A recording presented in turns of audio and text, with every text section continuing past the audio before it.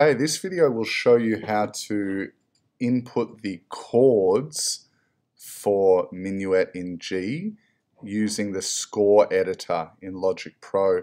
So here uh, we've we've actually inputted the entire melody here and if you want to see the whole thing we can use this toggle to zoom out but here is our eight bars of melody um, so what we're going to do now is we're going to put chords uh, in the bass clef here to harmonize and support this melody. Now, in the assignment here, down the bottom, I've listed all the primary triads in the key of G major. Here they are. The one chord, G major, the four chord, C major, and the five chord, D major. We also refer to these chords as tonic, subdominant, and dominant chords. And I've written the notes of each chord here as well next to the name of the chord.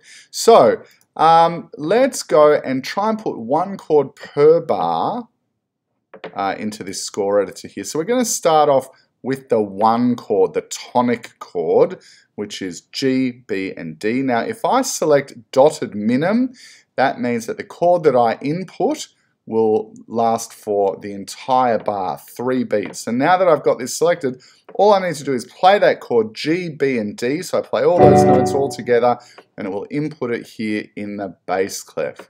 In my next bar, I'm going to stay with the tonic chord because you can see the strong notes of D, G, G are in that bar. These are strong notes of the G major chord. So I'm going to play another G major chord. Here in bar 3, the strongest note on beat 1 is an E.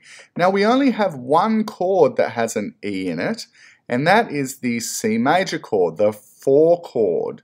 Um, a strong indication that C would be the best chord to use is that we have this E here on beat 1, but then we also have this C on beat 2. So I'm going to try here on this bar to input the C major chord. There we go.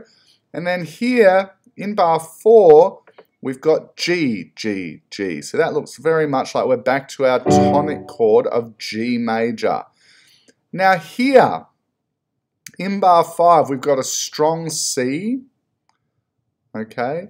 Uh, and then we've got some other notes here that are not in uh, the C major chord, but I'm going to try and put a C major chord here. We'll see how that sounds. Here, our beat one is on the note B. So that indicates that we are probably back to our tonic chord now, which is our one chord. So let's input that again. Notice how I don't need to keep selecting dotted minim because it's already selected. Now here in bar 7, we've got an A on uh, beat 1, and the only chord that has an a uh, as part of it is the D major chord, the dominant chord, our five chord. So I'm going to play the D major chord here, uh, and then we're back to G, and we really should finish on our tonic chord here. So let's play this and see what it sounds like.